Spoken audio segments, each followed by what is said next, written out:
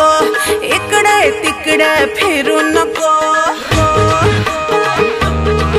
ओ काय पण मला बोलू नको। इकडे